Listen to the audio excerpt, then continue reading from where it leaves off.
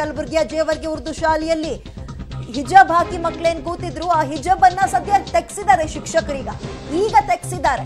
ಹಿಜಾಬ್ ಧರಿಸಿ class room ಒಳಗೆ ಹಾಜರಾಗಿದ್ರು ವಿದ್ಯಾರ್ಥಿಗಳು. ಎಲ್ರೂ ಕೂಡ ಎಲ್ರೂ ಕೂಡ ಹಿಜಾಬ್ ಹಾಕಿದ್ರು. ಈಗ ಮಕ್ಕಳಿಗೆ ಬುದ್ಧಿವಾದವನ್ನ ನಂತರ ಬಂದು ಶಿಕ್ಷಕರು ಹೇಳಿದ್ದಾರೆ. ಪಬ್ಲಿಕ್ ಟಿವಿ ವರದಿ ಬಂದಲ್ಲೇ ಶಿಕ್ಷಕರು ಎಚ್ಚೆತ್ತಿದ್ದಾರೆ. ಎಸ್, ಗಮನಿಸ್ತಾ ಇದ್ದೀರಿ, ಆಗಿನ ಚಿತ್ರಣ ಮತ್ತು ಈಗಿನ ಚಿತ್ರಣ ಎರಡೂ ಕೂಡ ಹಿಜಾಬ್ ಯಾರ ತಲೆ ಮೇಲೂ ಈಗಿಲ್ಲ. ಇದು ಮುಂಚೆಯ ಚಿತ್ರಣ. ಈಗ ತಾನೇ ನಾವು ಒಂದು ಹತ್ತು ಹದಿನೈದು ನಿಮಿಷದ ಮುಂದೆ ಪಬ್ಲಿಕ್ ಟಿವಿ ವಿಸ್ತೃತ ವರದಿಯನ್ನ ಮಾಡ್ತಾ ಇತ್ತು. ಕಲಬುರಗಿಯಲ್ಲಿ ಸರ್ಕಾರದ ಆದೇಶಕ್ಕೆ ಮಧ್ಯಂತರ ಕೋರ್ಟ್ನ ಮಧ್ಯಂತರ ಆದೇಶಕ್ಕೂ ಕೂಡ ಕ್ಯಾರೆ ಅಂತಲ್ಲ, ಡಿ ಸಿ ಹೇಳಿದ್ರು ಕೂಡ ತಲೆ ಕೆಡಿಸ್ಕೊಳ್ತಾ ಇಲ್ಲ. ಮಕ್ಕಳು ಹಿಜಾಬ್ ಹಾಕಿ ಕ್ಲಾಸ್ ರೂಮ್ ಒಳಗೆ ಬಂದ್ರು ಕೂಡ ಯಾವೊಬ್ಬ ಸಿಬ್ಬಂದಿಯೂ ಕಾಣಿಸ್ತಾ ಇಲ್ಲ, ಯಾರು ಏನು ಹೇಳ್ತಾ ಇಲ್ಲ ಅನ್ನುವಂತಹ ವರದಿಯನ್ನ ಮಾಡಿದ್ವಿ. ಇದರ ಬೆನ್ನಲ್ಲೇ ಇದೀಗ ಅಲ್ಲಿನ ಸಿಬ್ಬಂದಿಗಳು ಹೆಚ್ಚುತ್ತಂಗೆ ಕಾಣಿಸ್ತಾ ಇದೆ. ಕ್ಲಾಸ್ ರೂಮಿಗೆ ಬಂದು ಮಕ್ಕಳ, ಮಕ್ಕಳೇನು ಹಿಜಬ್ ಧರಿಸಿದ್ರು, ಆ ಹಿಜಬ್ ಅನ್ನ ತೆಗ್ಸಿದ್ದಾರೆ.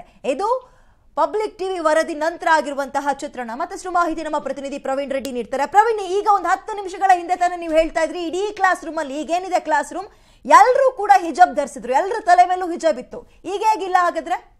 ಯಾವಾಗ ಪಬ್ಲಿಕ್ ಟಿವಿ ಈ ಬಗ್ಗೆ ವಿಸ್ತೃತವಾದಂತಹ ವರದಿಯನ್ನು ಪ್ರಸಾರ ಮಾಡಿತ್ತು? ಯಾಕಂದ್ರೆ ಹೈಕೋರ್ಟ್ ತೀರ್ಪೇನಿದೆ. ಯಾವುದೇ ಕಾರಣಕ್ಕೂ ಕೂಡ ಶಾಲಾ ಮಕ್ಕಳು ಧಾರ್ಮಿಕವಾದಂತಹ ಉಡುಗೆಗಳನ್ನು ಯಾವುದೇ ಕಾರಣಕ್ಕೂ ತೊಡಬಾರದು. ಕೇವಲ ಸಮವಸ್ತ್ರ ಕಾಯ್ದೆ ಏನಿದೆ ಆ ಒಂದು ಶಾಲಾ ಸಮವಸ್ತ್ರದಲ್ಲಿ ಮಾತ್ರ ಹಾಜರಾಗಬೇಕು. ಆದರೆ ಸದ್ಯ ಕಲಬುರಗಿಯಲ್ಲಿ ಯಾವ ರೀತಿಯಾಗಿ ಹಿಜಾಬ್ ಧರಿಸಿಕೊಂಡು ಮಕ್ಕಳು, ವಿದ್ಯಾರ್ಥಿನಿಯರು ಶಾಲೆಗೆ ಬಂದಿದ್ದಾರೆ ಅಂತ ಯಾವಾಗ ಪಬ್ಲಿಕ್ ಟಿವಿ ವರದಿ ಪ್ರಸಾರ ಮಾಡುತ್ತೋ ಸೊ ಕೂಡಲೇ ಎಚ್ಚೆತ್ತುಕೊಂಡಂತಹ ಇಲ್ಲಿನ ಒಂದು ಶಿಕ್ಷಕರು ಕೂಡಲೇ ಈ ಒಂದು ತರಗತಿಗೆ ಆಗಮಿಸಿ ಇಲ್ಲಿ ಯಾರ್ಯಾರು ಮಕ್ಕಳು, ಇಲ್ಲಿ ವಿದ್ಯಾರ್ಥಿನಿಯರು ಹಿಜಾಬ್ ಅನ್ನು ಧರಿಸಿಕೊಂಡಿದ್ರು, ಆ ಎಲ್ಲಾ ವಿದ್ಯಾರ್ಥಿನಿಯರ ಹಿಜಾಬ್ ಅನ್ನು ತೆಗೆಸಿ ಅವರಲ್ಲಿ ಒಂದಿಷ್ಟು ಬುದ್ಧಿ ಮಾತುಗಳನ್ನು ಈಗಾಗಲೇ ಹೇಳಿದ್ದಾರೆ. ಯಾಕಂದ್ರೆ ಈಗಾಗಲೇ ಹೈಕೋರ್ಟ್ ಆದೇಶ ಪಾಲನೆ ಮಾಡಬೇಕಾದಂತಹ ಕೆಲಸ ನಮ್ಮ ನಿಮ್ಮೆಲ್ಲರದ್ದು ಆಗಿದೆ. ಹೀಗಾಗಿ ಹಿಜಾಬ್ ಧರಿಸಿಕೊಂಡು ಯಾವುದೇ ಕಾರಣಕ್ಕೂ ಕೂಡ ಶಾಲೆಗಳಿಗೆ ಬರದಂತೆ ಈಗಾಗಲೇ ಸೂಚನೆಯನ್ನು ಕೊಟ್ಟ ಬೆನ್ನಲ್ಲೇ ಈಗಾಗಲೇ ತರಗತಿಗೆ ಹಾಜರಾದಂತಹ ಎಲ್ಲ ವಿದ್ಯಾರ್ಥಿನಿಯರು ಕೂಡ ಈಗಾಗಲೇ ಹಿಜಾಬ್ ಅನ್ನು ತೆಗೆದು ಈಗ ಇನ್ನೂ ಒಂದು ಸುಮಾರು ಒಂದು ಅರ್ಧ ಗಂಟೆ, ಒಂದು ಗಂಟೆಯಲ್ಲಿ ಈಗ ಪ್ರಿಪರೇಟರಿ ಎಕ್ಸಾಮ್ ಕೂಡ ನಡೀತಾ ಇದೆ. ಅದಕ್ಕೆ ಎಲ್ಲ ರೀತಿಯಂತಹ ಸಿದ್ಧತೆಗಳನ್ನು ಈಗ ವಿದ್ಯಾರ್ಥಿನಿಯರು ಮಾಡಿಕೊಂಡಿದ್ದಾರೆ.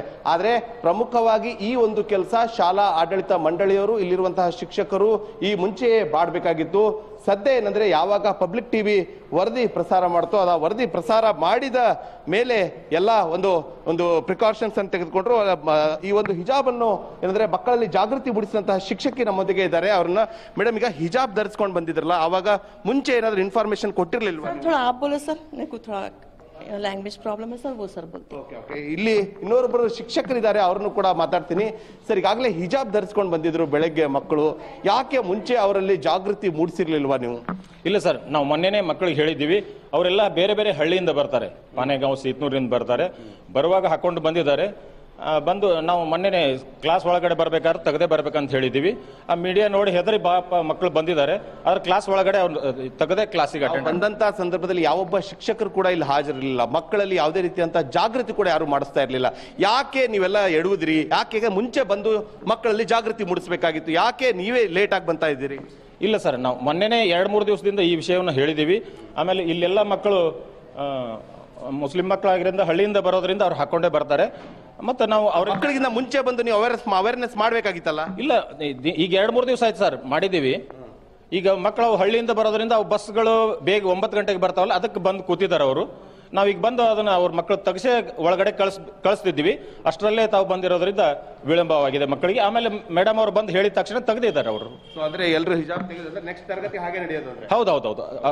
ಸತ್ಯವಾಗಿ ಸರ್. ಶಿಕ್ಷಕರು ಹೇಳ್ತಾ ಇದ್ದಾರೆ. ಈಗ ಸದ್ಯ ಏನಂದ್ರೆ ತರಗತಿಗಳಲ್ಲಿ ಏನಂದ್ರೆ ಯಾವುದೇ ಕಾರಣಕ್ಕೂ ಕೂಡ ಮಕ್ಕಳು ಹಿಜಾಬ್ ಧರಿಸೋದಿಲ್ಲ. ಯಾಕಂದ್ರೆ ಒಂದಿಷ್ಟು ತಡವಾಗಿರೋದು ನಿಜ. ಹೀಗಾಗಿ ಮಕ್ಕಳು ಹಿಜಾಬ್ ಧರಿಸ್ಕೊಂಡು ಬಂದಿದ್ರು. ಈ ಕಲಬುರಗಿಯಿಂದ ಹೊರವಲಯದ ಹಳ್ಳಿಗಳಿಂದ ಮಕ್ಕಳು ಬರೋದರಿಂದ ಅಲ್ಲಿನ ಮಕ್ಕಳಿಗೆ ಅಷ್ಟೊಂದು ನಿಯಮದ ಬಗ್ಗೆ ಗೊತ್ತಾಗಿರ್ಲಿಲ್ಲ. ಈಗ ಒಂದು ಆ ಒಂದು ನಿಯಮಗಳ ಬಗ್ಗೆ ಮಕ್ಕಳಲ್ಲಿ ಜಾಗೃತಿ ಮೂಡಿಸಿದ್ದೀವಿ ಅಂತ ಇದ್ದಾರೆ. ಇನ್ನೊಂದು ಕಡೆ ವಿದ್ಯಾ ಈಗಾಗಲೇ ನೋಡ್ತಾ ಇರ್ಬೋದು. ಈಗಾಗಲೇ ಮಕ್ಕಳಿಗೆ ಪ್ರಿಪರೇಟರಿ ಎಕ್ಸಾಮ್ಸ್ ಬೇಕಾಗಿತ್ತು. ಆ ಪ್ರಿಪರೇಟರಿ ಎಕ್ಸಾಮ್ಸ್ಗೆ ಸಂಬಂಧಪಟ್ಟಂತಹ ಎಲ್ಲ ಪೇಪರ್ಸ್ಗಳನ್ನು ಕೂಡ ಇಲ್ಲಿರುವಂತಹ ಶಿಕ್ಷಕಿಯರು ಈಗಾಗಲೇ ಕೊಡ್ತಾ ಇದ್ದಾರೆ.